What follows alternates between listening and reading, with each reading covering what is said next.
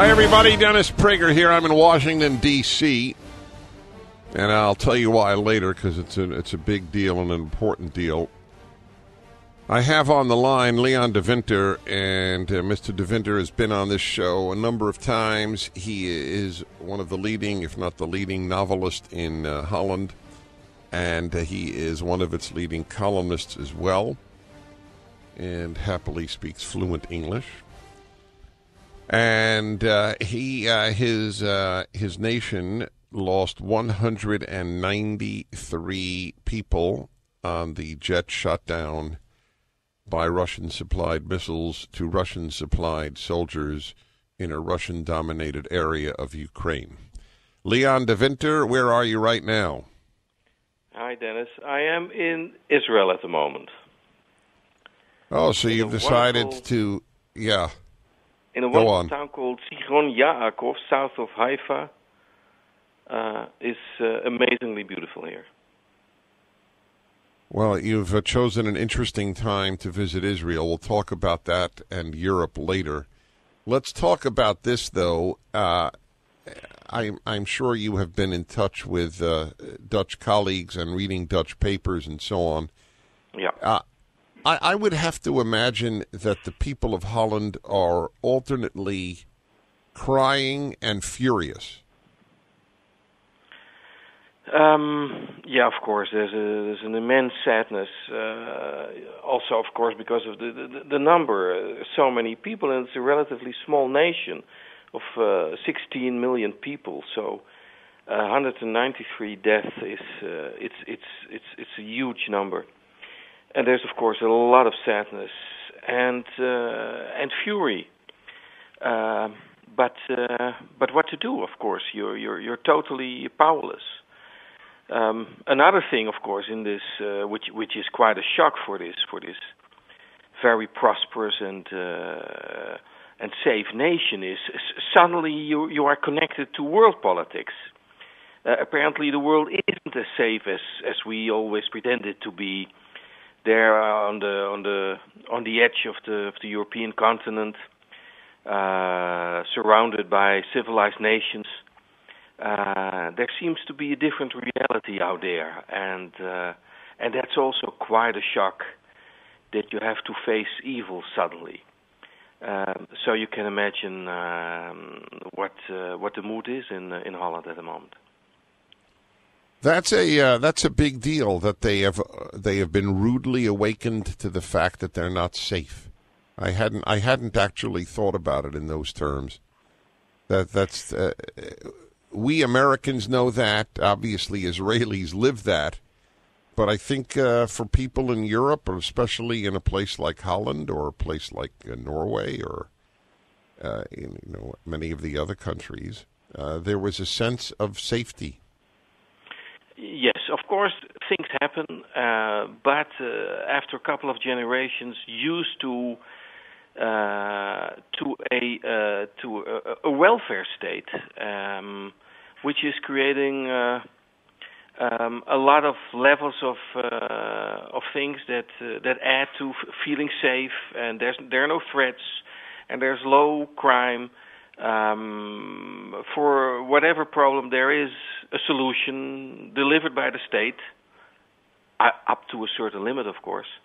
Um, but this is this is a different ball game, uh, and that means that uh, that we're really uh, totally despairing. What to do? How to react? Can you react? No, you can't react.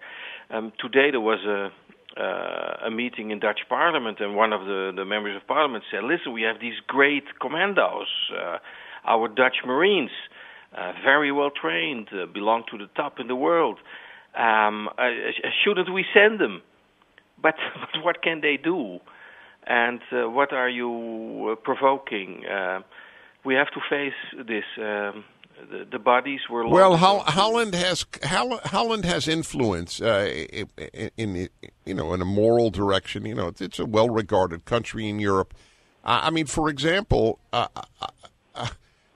I don't understand why they are not uh, just uh, uh, why, why, for example, they didn't expel or, or, or at least uh, just send out for a period of time the Russian ambassador to Holland.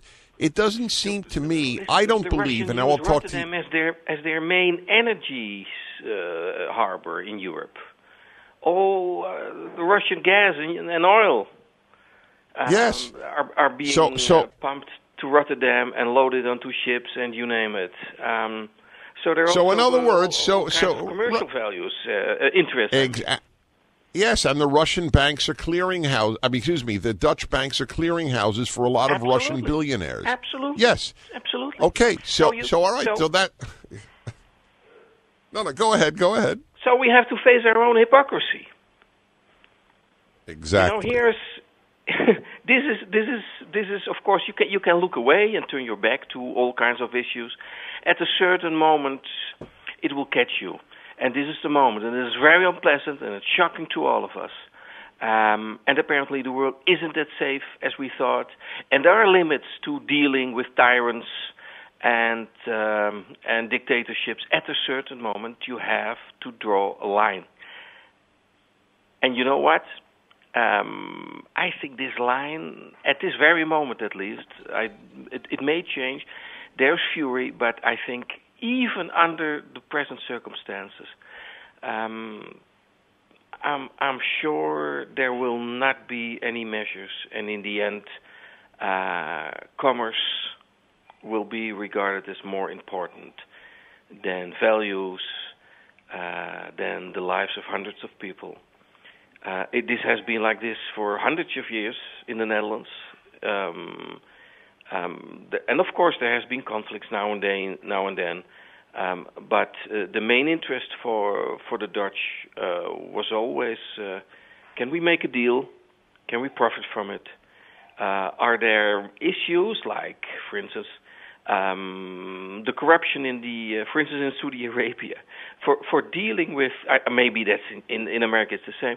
Um, if you have to bribe people, the amount of the bribe is tax deductible for the Dutch IRS. You can report it, and it's accepted as a regular cost for doing business in certain nation, in certain states. That's fascinating. That is just. Isn't that amazing? That is that that is is is the case. So that's that's part of uh, of of of the soul of this nation. And uh, is this going to change? I don't know. I don't think so. Um, although at the moment uh, you'd better not discuss these items. Um, there has been uh, the king has been visiting uh, relatives of the people who died today. Uh, our prime minister is is is is trying to catch the mood of the nation. He sounds tough, uh, but there are billions of dollars at stake. Uh, Holland is a very important uh, partner for the for the for the Russians. Uh, not that long ago, again, uh, there, there was our our prime minister uh, uh, visited Putin. Um, it's it's the grown-up world we have to face suddenly. This is not anymore the the the the the, play, the the kindergarten of the of the welfare state. This is this is now for real.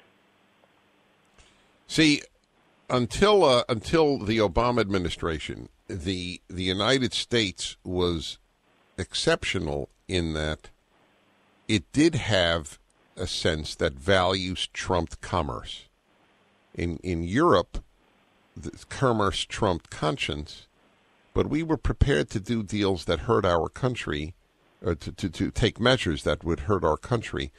Uh, so. I am not surprised. I predicted exactly what you have said last hour. I predicted Europe will ultimately do nothing, even as the bodies are removed and desecrated. Ultimately, uh, commerce will triumph. Yes, yes. Sadly enough, uh, I I agree with you. Dennis. I think it's uh, this is the case. Uh, we've seen awful things. Uh, what happened to uh, to the remains of uh, of the people on uh, on that flight. Um, and and of course we are angry, uh, but we stay at the silent sidelines. We look at it. They're now in on a train. We don't know where the train is heading to. There are now Dutch teams there, um, but uh, what the, the it, it, it is a really dark page in uh, in Dutch history. Uh, and in the in the end, uh, uh, the people responsible for this, um, I think they will walk. Uh, yep, exactly. Back in a moment, I'm on with Leon de Winter, leading Dutch novelist and columnist.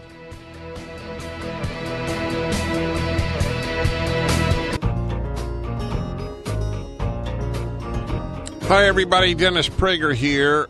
A, a man I greatly respect. He is, what shall I say, and this is a big compliment, he is morally serious. Leon de Winter, or as we would incorrectly say, de Winter, is a major Dutch novelist and columnist, and he has been on the show a number of times. Whenever I want a European take on things, I I look to Leon.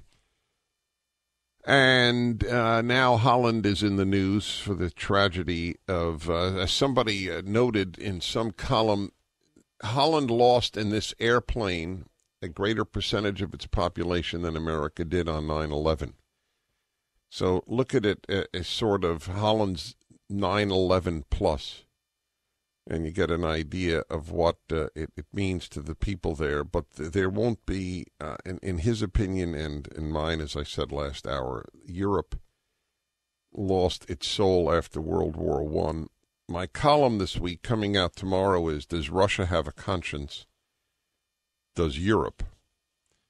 That's the title, and that's uh, unfortunately he verifies my sus- my suspicions. See, socialism I I'll, I'll talk about this after I ha- I, don't want to I don't want to take the time from Leon de Winter. Uh, have you been following uh, Europe's or at least the Dutch uh, reporting on uh, the uh, the war in Gaza? Uh, yes, yes, I do absolutely. Yep. the reporting in the United States has been god awful. it's just about sad Gazans and tragic deaths of Gazan children. And it's been entirely lopsided in that way. I presume Europe is no different. yeah, you expect it differently. That yes, no, it's uh, of course it's the same. It, I think it's worse. It's worse than uh, mm-hmm. even than uh, the reporting in America. And um, that's uh, of course uh, we can expect that. Um, and and as as far as you can say smart in relation to the, the, the leaders of Hamas, well, maybe this is smart. Of course, this is this is a war they cannot win uh, militarily, uh, but they can. There's only one war, and they are aware, are aware of that. That they, they really can win, and that's the publicity war. That's the only war they can win. There's no way uh, that they uh, that they could defeat Israel's army, invade it, or whatever. And that was never the purpose the purpose was to challenge Israel, to make it unbearable, to bring Israel uh, so far that it would hit back. And it's, on, I mean, in our ears, it sounds monstrous. It's it's it's devilish. Uh, uh, but that was uh, the purpose, and uh, and that meant uh, Israel had to come back and and unfortunately had to go into Gaza at a certain moment, and that means civilian death and that was the purpose for for Hamas. I mean, right, right. It, it's hardly imaginable. A leadership, and let's call this a city state because it it has fixed borders and it has a real government. Uh, and although it, it, has not been recognized by other nations, it it wants to perform as a state. Imagine the government of a of, of a nation not wanting to protect its its population. No, the other way around, on purpose. It puts its own population at danger. And that's mm-hmm. what it wants. That's because it needs those images. Um, yeah, for us, it's, uh, I mean, people looking at this from a, Christian, Jewish point of view, it's, it's, it's totally unbelievable. But it's the fact. It's, it's a fact. Um, and those images, of course, that's what uh, the progressive media and both, and that's very interesting because now you see a crazy alliance of of all kinds of media together with extreme leftists and extreme right. Uh, this alliance uh, which is very loud, very vocal, very aggressive, also in the streets in Europe, in demonstrations, but also in the newspapers and on TV and radio. Um, yeah, we have to get through this. Uh, we have to survive uh, this challenge, but I don't see that uh, that Israel has any other uh, choice. This is what we have to go through. This uh, this this imbalanced reporting are there at least in America you have talk radio and you have so many uh, major websites and except for the Gaza war you have Fox News uh, what what do you have in Europe? Anything? You have lonely voices like my voice. Here and there in in, in in in, the, in in various countries you have people like me with with, with access to media writing.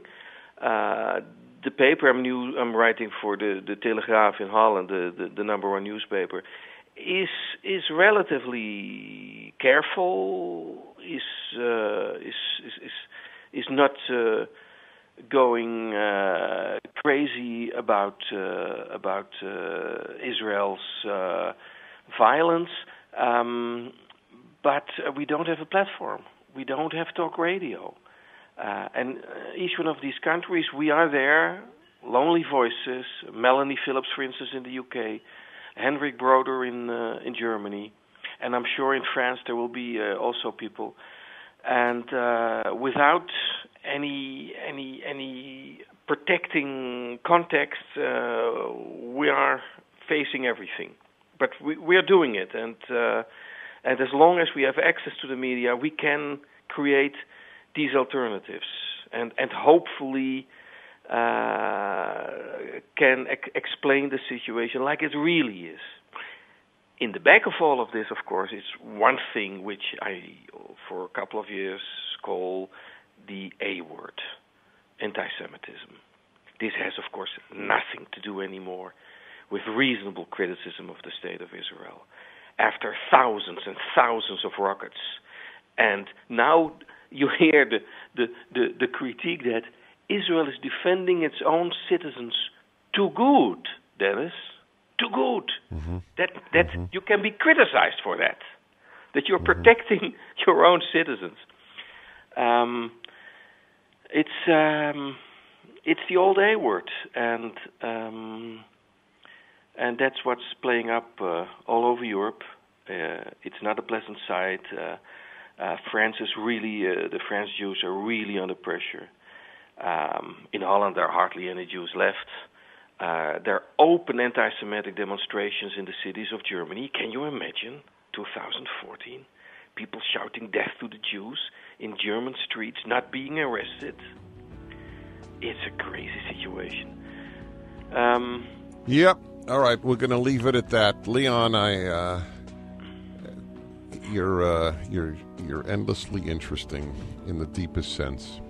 Anyway, have a, have a uh, as good a vacation or whatever you're doing in Israel as you it's can. Thank you, you for your time. Vacation in this great great country, Israel.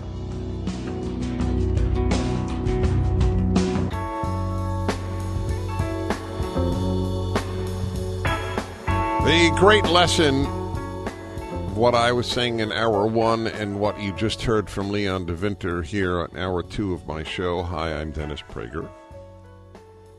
Is that socialist Europe puts money before values in capitalist America.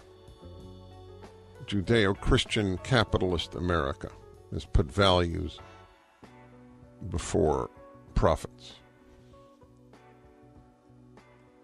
It's uh, it, it's not ironic but it seems that way given the propaganda that, hey, they're so moral because they have this welfare state.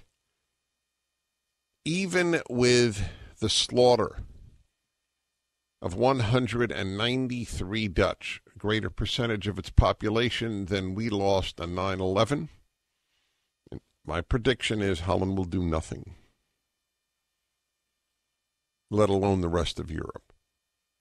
It's already done nothing, and they it's the, the bodies have been desecrated, and Europe has done nothing. John Kerry announces it's a, last warning to Vladimir Putin. it's a, it's a last warning to do what?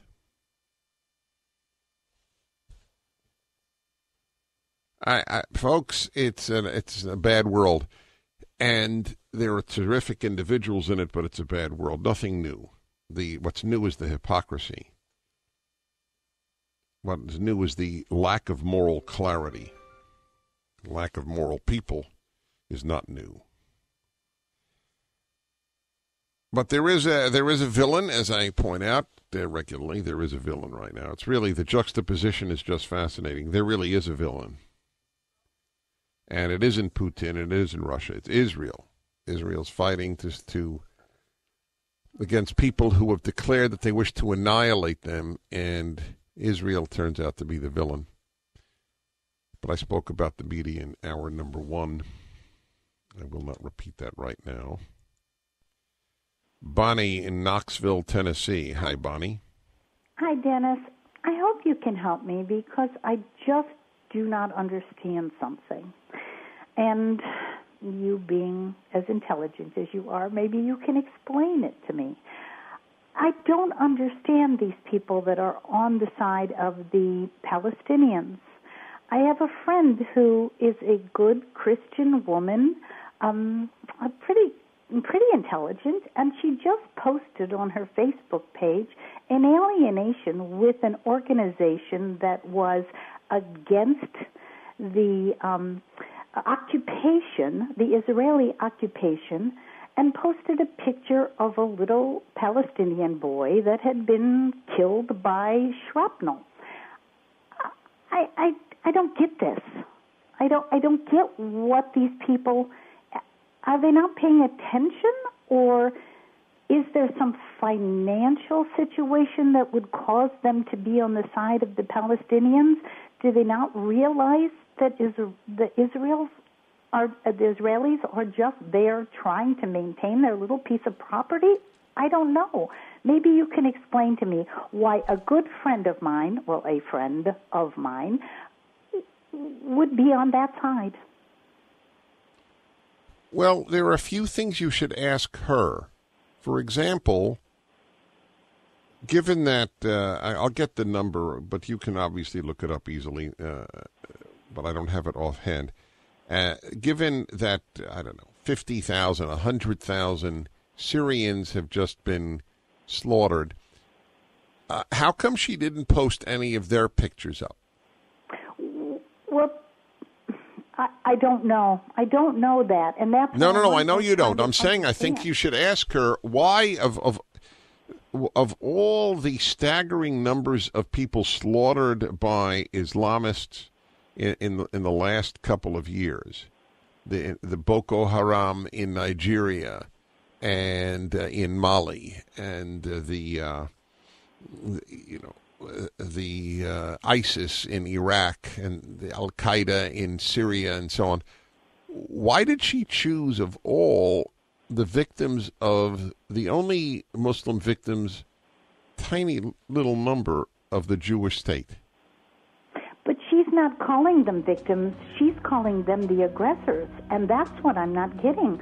I don't get these people that think it's Israel that's the aggressor. Uh, yeah.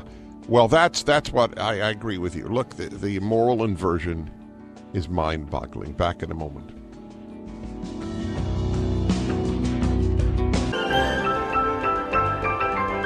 Hi, everybody. Welcome back. Dennis Prager. I'm in Washington, D.C. I didn't tell you why. I'm uh, speaking at the annual convention of Christians United for Israel. And uh, the uh, the timing couldn't have been, uh, unfortunately, uh, more perfectly planned.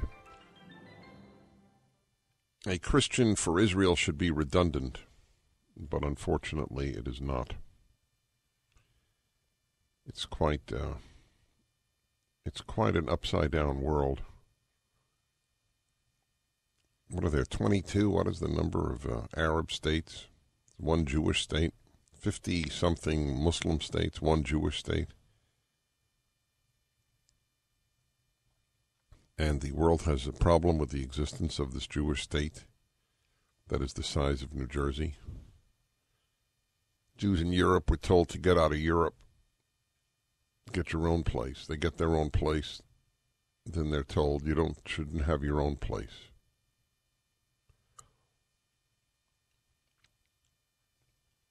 And uh, the uh, but the Europeans the, the the the moral universe of Europe is this will be as clear. I tell you, the juxtaposition of these two events is mind blowing. The war in Gaza and the shooting down of the civilian airliner, you couldn't see a more obvious way in which the European character has been deformed into nothingness, into mush. Even when their own people are shot down, they do nothing. The bodies are desecrated, and Europe does nothing. Europe lost its belief in itself after World War I, has never recovered it. The U.S., because of the left, has begun to lose belief in itself. You have the ultimate expression of that in Barack Obama, for whom the United States should not be and is not an exceptional country. And uh, when you become like other countries, you deteriorate.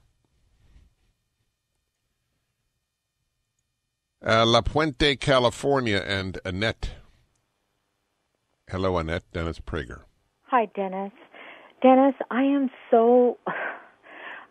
Uh, it's just mind boggling to me. Uh, in the news yesterday, there were a lot of Israelis that were demonstrating against their own government, uh, saying that this was unfair and that they should stop, uh, you know, uh, this war against the Palestinians. I don't understand yeah, where, that. Well, yeah, I can explain it, but I was curious. Where did you see it? I, it was on all the stations: Channel Seven, Channel Four, Channel Two. Now, wait, were they demonstrating in Israel or in the yes, United States? They, they were demonstrating in Israel. Yeah. Okay. Look, Israel has a left, just like the United States has a left. There, there are people in this country who demonstrate against this country and they're the same people, leftists. Why don't the why don't the rabbis in our country get a hold of these influential Jews, eh, like you know Spielberg and all these people that have influence, and talk to them about what's happening to you know Israel? I, I don't think they're particularly interested. I'm not. I'm not speaking for Spielberg specifically, but I don't think they're particularly interested. What was the last pro-Israel movie you saw? I know. What was it? What, what was it? Exodus in the 1960s. Well, I, you know, the lady that called before me, that her Christian friend, you know, a Christian should know that uh, the Jews are God's chosen people, and that we as Christians uh, love and pray for the Jewish state daily. Look, I, I I live with such Christians. Believe me, I know. I'm I'm here in Washington to let to give uh, one of the keynote addresses to the Christians to unify uh, Christians United for Israel CUFI, which you should all know about. But there is another reason for Christians to support Israel, because they know the difference between good and bad. That's why. I don't understand why atheists don't support Israel. It shouldn't take theology. Maybe it does, but it shouldn't have to. Tell me another case in the history of the world where the world thought that the police state was right and the free state was the aggressor. Tell me one such example in the history of the world. Well, maybe Vietnam the free America was the villain, and the police state of Ho Chi Minh was the victim. But that's left wing thinking. And for the leftist, whether it's Israeli or American, leftism is the uh, is the is the prism through which life is understood. Christian sees life through Christianity. A religious Jew through Judaism a committed leftist through leftism. Yes, indeed. Anaheim, California, and Paul. Hello, Paul. Dennis Prager. Hello, Dennis. How are you today? I'm well, thank you. Good. Hey, Dennis, I I had a funny thing happen. I was telling your screener. Um, my mom and I were actually up in the mountains on a trip, and unfortunately, she slipped and fell and hit her head. And I had to take her to the hospital to get some stitches. And she's okay. But the doctor, who was a very nice guy, he started the conversation about Israel and what's going on over there. And my mom and I have a very strong opinion about it that Israel is under attack. And he did not want to hear it. He said, well, you know, the Palestinians, and, and, he, and he started on a lot of the stuff that's nonsense. And I, I listen to your show and I think about what you say, and I just in my head I thought, there's no re- he must there, he must have some problem with Jewish people. So I told him, I said, well, do you believe that Israel has a right to exist? And I felt kind of funny in the hospital. The nurses are there. I, people were raising their eyebrows. And he says, well, that's a whole other conversation. And my mom and I looked at each other and, and we walked out and I thought, there's no way that that smart doctor, and he must be smart. Well, hold on. Uh, this is big deal. Back in a moment.